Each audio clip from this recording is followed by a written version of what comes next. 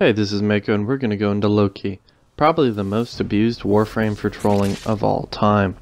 Now, Loki is pretty easy to set up and I've stuck him with the Ninkondi. The Secura Penta, the Ninkondi. Now, why the Ninkondi? Because it hits so fast, it's ridiculous. And you know, mine is actually a crit based build. And it's worked really well into, you know, skirmish and endgame based play. True Steel has probably been the best bet, but you can even just go with something like this if you want, and I'll even prove this works. But I tend to use the True Steel more often, because it's just a slight damage buff overall. The Furis is my standard Furis. The Penta is kind of interesting to build. You can actually make this replace one of these with Hush, think I was Hammer Shot or replaced with Hush, and I had 100% Stealth Grenade Launcher, yes. Now, the build I have going on this is pretty fun, it's basic, it, it works. But you know, as everybody loves to scream on the forums, Loki is the aka Master Race. I just called him a bunch of Warframe Nazis. Loki is a stealth-based Warframe. You can go invisible for an extended period of time. You can disarm enemies, and with the Ninkondi, beat them into an ever-loving death.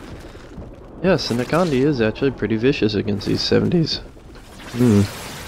You can even summon a decoy, let them beat on the decoy while you beat on them.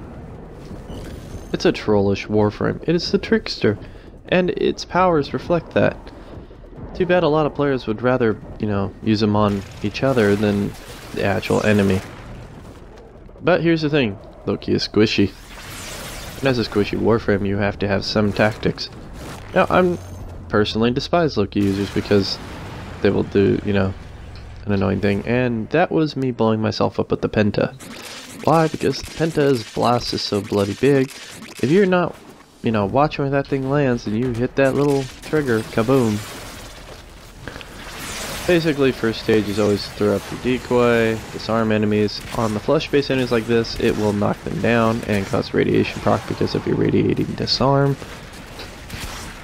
Uh, I thought that was somebody still alive. I'm gonna just back away this time. This is a crit build, Secura Penta, and I'm sorry, a lot of people tell me things that I do a crit build shouldn't work. This worked pretty fine for me. you can even multi-blast, um, the most you can have out with the Secura Penta is three, and you're stealthy, so who cares? I've got these enemies, you know, killing each other. You can even trade places and beat them up really quickly. And that's the thing that a lot of players will abuse, and that's why I tend to despise Loki players, because, you know, I'll be killing somebody, they'll blip me out, and they'll do lol, how you like that, or something. It's like, seriously, guys, Get a maturity. It's a mature game, play it that way. Now there are tricks you can do, like you can summon your clone or decoy and then switch places with your decoy, which makes fast traveling pretty good if you can get some good range on this. Remember, first stage, go invisible, and if I can actually hit the bloody thing, switch with it. Instant transportation, resummon it, and now the heavy units we all despise have no weapon. Well, besides some sort of staff thing with a light on it. Just remember to keep going invisible. And your radiating disarm makes them want to beat each other to a pulp. Since you're not visible, they won't attack you. Or, you're not visible, they won't attack you. So, as you can see, very trollish, very overpowered. Probably one of the most powerful and well-known frames out there for being annoying. I like how they could hit me while I'm invisible, even though they didn't see me, they're attacking the decoy. I don't play Loki very much. I just stick it in, you know, the arsenal and never use it again. That's my take on it. And again, go invisible, let them beating on each other, eat some popcorn, whatever, blast to pieces. I like the Secura Penta with this because it gives me shields, and it buffs my shields a little more, and that helps with this build.